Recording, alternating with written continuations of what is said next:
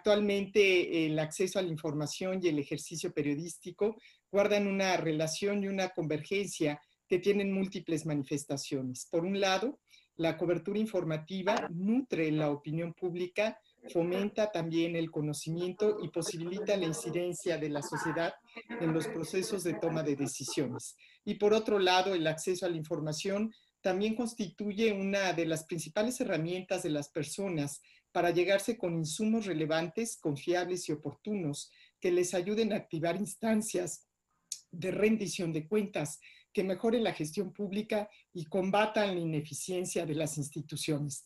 Nos han permitido comprobar que una conciencia cada vez mayor para ejercer el derecho de acceso a la información e incorporarlo a la vida cotidiana para beneficio personal y colectivo. Hoy, gracias a la Plataforma Nacional de Transparencia y sus buscadores temáticas, esto sea cada vez más fácil y accesible. Estoy seguro que estos trabajos no solamente eh, serán leídos por, los jurados o por algunos de nosotros, sino tendrán pues evidentemente impacto en muchos ciudadanos tanto en la información que ahí se da como, digamos, de el, del impacto que tiene el derecho a saber y cómo ellos, como en uno de los trabajos lo comprueba, pues puede ser una herramienta para que los ciudadanos, habla hasta de, los, de, de la niñez, pues utilicen este mecanismo de la plataforma, pues para tener más información y con lo cual puedan tomar pues decisiones más informadas. Del 2015 a la fecha se han cometido más de mil agresiones a periodistas donde lamentablemente son autoridades, servidoras y servidores públicos quienes en un 40% de estas agresiones han intervenido. Según el mecanismo de protección para las personas defensores de derechos humanos y periodistas,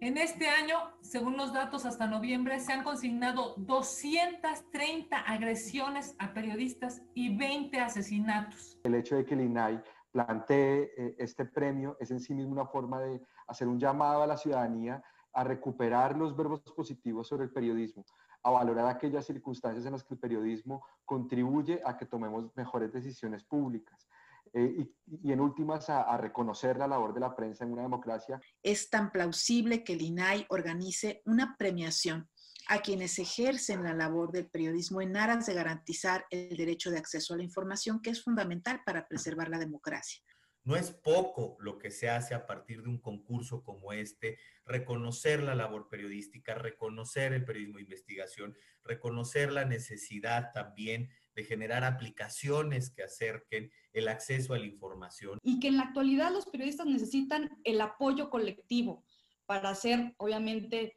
eh, notoria la situación y para que se diseñen e implementen políticas públicas que garanticen el libre ejercicio de su profesión y sin duda de manera, de manera segura.